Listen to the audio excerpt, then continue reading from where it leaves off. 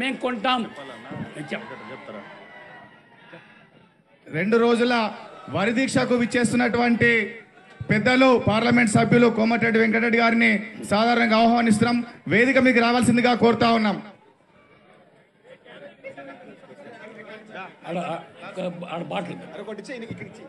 ఆడ మంచి నీ వెనక మంచి లేదు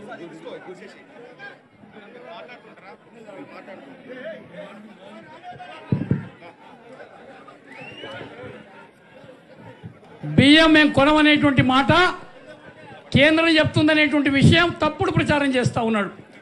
కేంద్రం చెప్తా ఉంది ఉప్పుడు బియ్యం కాకుండా సాధారణ బియ్యం నీవెన్నీవు మేము కొంటామనేటువంటి మాట వారు చెప్పడం జరుగుతూ ఉంది. ఈరోజు ఉప్పుడు బియ్యం కనుక మనం మన మన ధాన్యాన్ని రైస్ మిల్కి ఇస్తే ఉప్పుడు బియ్యం చేసేటువంటి మిల్లు ఒక క్వింటల్ ఓట్లకి డెబ్భై డెబ్భై మూడు కిలోల బియ్యం దిగుబడి వస్తుంది. అదే సాధారణ బియ్యం అయితే అరవై ఏడు కిలోలే వస్తూ ఉంది.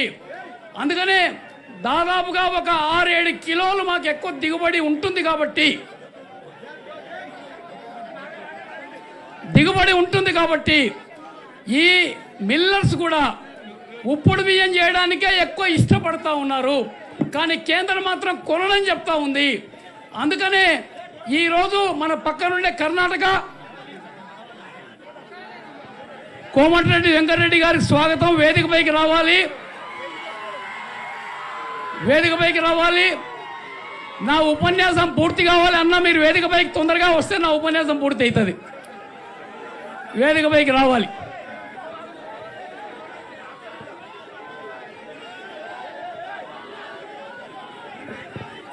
ఎంకన్నా నువ్వు మొదలు వచ్చాయి తర్వాత మీ ఫాలోవర్స్ వస్తారు.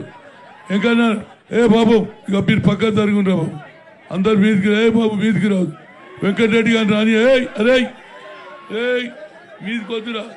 ఆయన రాని గొడవ చేయకూరి అరే పక్క జరుగురు ఏ బాబు. స్వామి అయ్యప్ప ఓ స్వామి అయ్యప్ప పక్క జరుగు అయ్యప్ప పక్క జరుగు ఆయన వస్తాడు. పక్క జరుగు అరే ఎవరు రావద్దు ఆపేయి. ఇక ఆపేయండి రా బాబు. మిగతా మిగతా వాళ్ళందరూ కింద ఉండాలి. మీ నాయకుడు కోమటిరెడ్డి వెంకటరెడ్డి గారు వేదిక పైకి వస్తూ ఉన్నారు. వారిని వేదిక ఆశీనులు కావాల్సిందిగా కోరుతా ఉన్నాను. ఈ ఉప్పుడు బియ్యం ఉప్పుడు బియ్యం ఒక క్వింటాల్ ఓడ్లకి డెబ్బై మూడు కిలోలు వస్తాయి. సాధారణ బియ్యం అయితే అరవై ఏడు కిలోలు వస్తాయి. అందుకనే రైస్ మిల్లర్స్ కూడా ఉప్పుడు బియ్యం చేయడానికే ఎక్కువ ఇష్టపడతారు.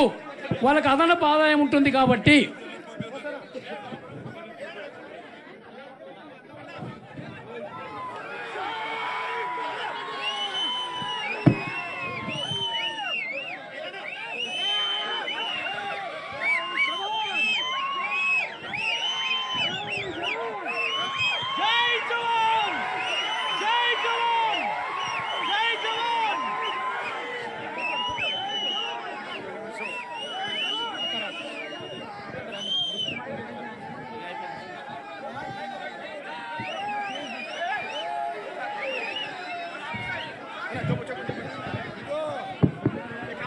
దయచేసి దయచేసి స్టేజ్ మీకు ఎవరు రాకండి? దయచేసి కొంచెం కాల్ చేయండి మీడియా అందుకనే ఈ. రోజు పారావైల్ రైస్ మిల్స్ని సాధారణ ధాన్యం ఉత్పత్తి చేసే రైస్ మిల్స్గా మార్చడానికి కొంత డబ్బు ఖర్చు అవుతుంది మన పక్కన ఉండేటువంటి కర్ణాటక రాష్ట్రం రాయచూరులో ఉండేటువంటి అన్ని పారావైల్ మిల్స్ని సాధారణ బియ్యం తయారు చేసే మిల్స్గా మార్చడానికి ధన సహాయం చేసింది. మన తెలంగాణలో అత్యధిక రైస్ మిల్స్ ఉండే మిర్యాలగూడ. మిర్యాలగూడలో కూడా అక్కడ ఉండేటువంటి పారాబాయిల్ రైస్ మిల్స్ వాళ్ళు కూడా సాధారణ ధాన్యం వరి వరి బియ్యం ఉత్పత్తి చేయడానికి వాళ్ళ రైస్ మిల్స్ కూడా కొంత డబ్బు పెట్టుకుంటే ఆ మిల్స్ కూడా మారడానికి అవకాశం ఉంటుంది. కానీ మన రాష్ట్ర ప్రభుత్వం ఒక్క నయా పైసా ఇవ్వడానికి సహాయం చేయడానికి ముందుకు రావడం లేదు. ఇవాళ పరిశ్రమలకు ఇవ్వాల్సిన రాయితీలు ఇన్సెంటివ్స్ ఈ రాష్ట్ర వ్యాప్తంగా రెండు వేల మూడు వందల కోట్ల రూపాయలు ఈ తెలంగాణ ప్రభుత్వం కొత్త పరిశ్రమలకు ఇవ్వాల్సి ఉంది. ఈనాటికి ఇవ్వలేదు. అందుకనే చాలా మంది రైస్ మిల్లర్స్ వాళ్ళ పారాబాయిల్ రైస్ మిల్స్ని సాధారణ బియ్యం తయారు చేసే రైస్ మిల్స్గా మారడానికి మార్చడానికి రాష్ట్ర ప్రభుత్వం ఎలాంటి సహాయం ఇవ్వదు కాబట్టి ఎవరు ముందుకు రావడం లేదు. అందుకనే ఇక్కడ ఉండే రైతులకు నా మనవి ఒకటే. నేను కూడా వరి పండించే రైతును నేను ఈ వానాకాలంలో ఎనభై ఎకరాల వరి నాటిన ఈ సంవత్సరం అనేటువంటి మాట కూడా మీతో మనం చేస్తున్నాను. రేపు రబీలో కూడా ఎనభై ఎకరాలు మళ్ళా వరి నాటుతాను.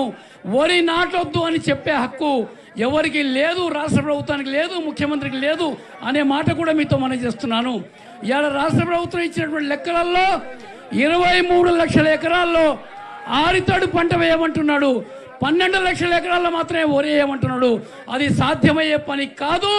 దాదాపుగా యాభై లక్షల ఎకరాల్లో వరి పండిస్తారు. ఈ తెలంగాణలో ఉండేటువంటి రైతులు అనేటువంటి మాట కూడా నేను మనవి చేస్తూ ఉన్నాను.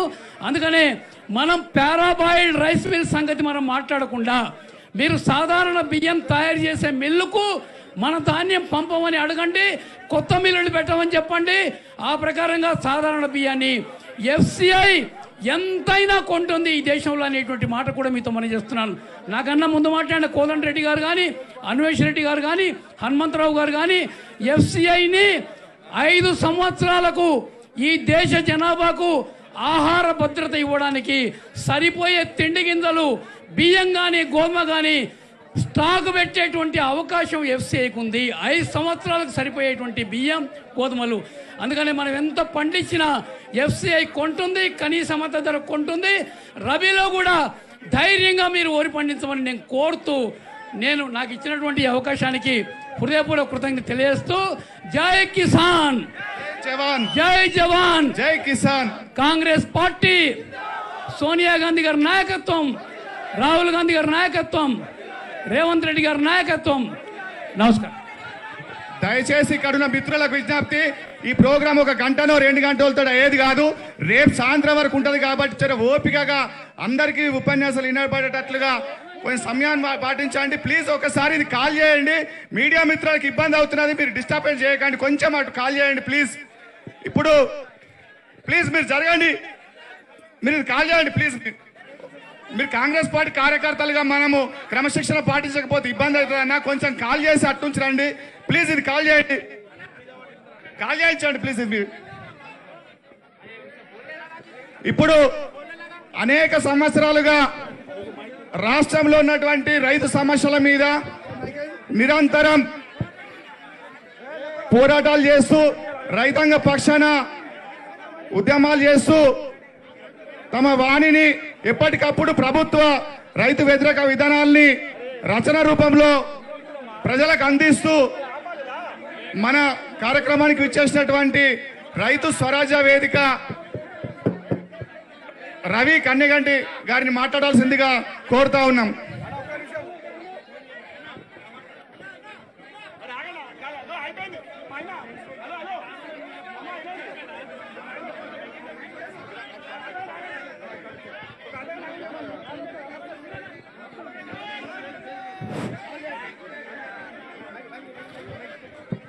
భాయ్ సాబ్ ఈడ మీడియా ముందు కెమెరాల ముందు ఎవరైతే ఉన్నారో అందరు బయటికి వెళ్ళాలి ప్లీజ్ ప్లీజ్ అందరు బయటికి వెళ్ళండి దయచేసి ప్లీజ్ బయటికి వెళ్ళండి.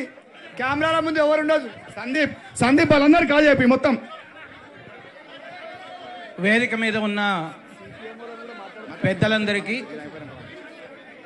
హాయ్ ఫ్రెండ్స్ మా టుడే టుమారో యూట్యూబ్ ఛానల్ చూస్తున్నందుకు చాలా థ్యాంక్స్ మరిన్ని లేటెస్ట్ వీడియోస్ కోసం వెంటనే సబ్స్క్రైబ్ చేయండి. అలాగే ఈ బెల్ని కూడా రింగ్ చేసేయండి. మా నోటిఫికేషన్స్ అన్ని మీ మొబైల్లో వస్తాయి. అలాగే మా వీడియోస్ మీకు నచ్చితే లైక్ చేయండి షేర్ చేయండి నచ్చకపోతే కామెంట్ చేయండి.